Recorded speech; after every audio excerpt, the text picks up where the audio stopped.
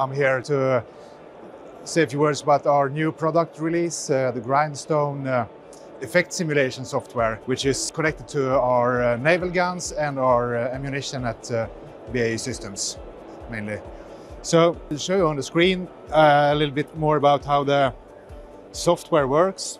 We use it mainly to optimize the effects of our guns and our ammunition. We can create scenario-based simulation with uh, different sort of threats, aerial threats and surface targets, for example. And then we can run simulations to see in which way we best use our guns and our smart ammunition. Because with our smart ammunition, the 3P ammunition, we have different modes, different settings on the fuse. Uh, and you need to use them in the best way possible to get the most of, out of it. Uh, this is both a way to save time on the firing range or uh, in the test site, and of course save a lot of money as well. Because by doing this in a simulation environment at first, you can then uh, decide which different firing patterns, which different modes on the 3P ammunition will have the most likelihood to have a kill in the target.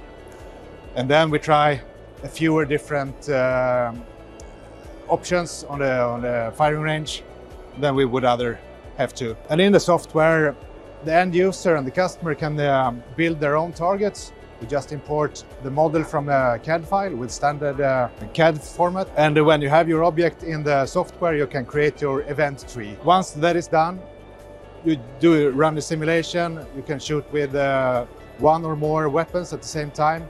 You can use multiple platforms, multiple guns against multiple threats, both aerial and surface.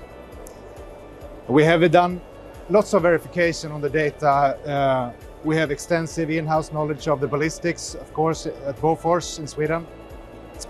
And we also have a really close, uh, in close proximity, we have our own test site, firing range, where we can verify all the data that we are running simulations on. So we actually more or less using witness plates, do a detonation, and count the holes and measure the uh, penetration depth in di different materials. In this way, we can use, as you see in the picture, the ammunition and the guns in the best way possible.